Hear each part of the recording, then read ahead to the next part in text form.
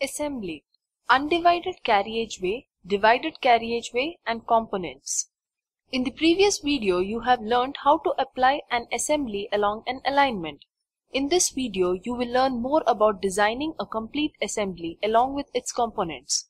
An assembly is a combination of several components like main carriageway, cut-fill slopes, drains, service roads, in eSurvey CADD, we can combine all these components together to form a complete assembly and apply it along the alignment. Main carriageway. Main carriageway further has sub-items like median, carriageway, paved shoulder, earthen shoulder. Let us create a divided carriageway and understand all the related items. To create an assembly, you have to button next to assembly drop down. You create an assembly by name TCS1. TCS stands for typical cross section or any name is allowed. Select TCS1 from assembly drop down and now component details group gets enabled. You select main road from component type. Click on the button next to the component which opens road default window. Here you can refer various parameters related to main roads such as median width, cross fall on either side, curb details. You can also mention carriageway width, camber, paved shoulder width, earthen shoulder width, camber and side slope ratio. If required, update the values as per project requirement. Updating value here are like updating the default. Further, these factors can be changed for each assembly if required. Close Road Defaults window. Now click button next to component drop down. Since we have selected main road as component type, road type will have selected item of component type. We can define multiple road base. You create a road base as main and select the same. We can enable median as we are defining a divided carriageway here. We can select items like paved shoulder, earthen shoulder and side slope on either side.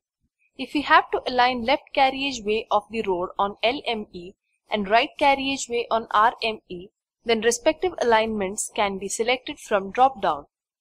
After making required selection, click on Create button to update the main road base. Once it is saved, by default it will have some design layers such as BC, DBM, etc. You can modify each layer's height, starting point, extent property, inner width, outer width, hatch property for each design layer. You can either delete the existing design or add more layers in this window. After making the necessary changes, click on Apply button. We can also configure which of these items have to be reflected items have to be reflected in area table when we generate the cross section by clicking on area button. After coming back to create road assembly window, after defining the road base, we can select the same from component drop down. Now you have to specify a reference point for an application. If you want this component to run on parent alignment, then select absolute as your choice. If you want this component to run on any specified alignment, then select that alignment name. Click on the Save button to add this component to selected assembly. With this, we have defined the main road for the project we have the option to select each component that we add to assembly to be considered for earthwork calculations or not. If you have to assign a block drawing at any of the component point, we can assign the same by clicking on block button and then selecting the respective component item and related drawing. For example, you want to show a tree block at center of median. Such requirements can be met with eSurvey CADD. Now we can add other components to assembly if required. Let us say you want to add cut fill slope to the main road. Then click on new, select cut fill slope, click on drop down button next to component, create required cut fill items say CFL and CFR to represent cut fill left and cut fill right. Select CFL from the drop down, select left side and give the filling slope and cutting slope and save it in Cut Fill Slopes window. Close the window and select CFL from component drop-down.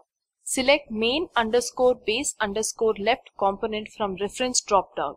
Here, select leftmost as the reference point. You can also give the offsets in terms of X and Y. Click on Save. You may note that new component gets added to the existing assembly component list. Likewise, we can add drain, service road to assembly. These are some of the typical cross-section assemblies prepared in eSurvey CADD. In the next video, we will understand how to apply the template when existing road is retained and proposed road is widened considering existing road. Thank you.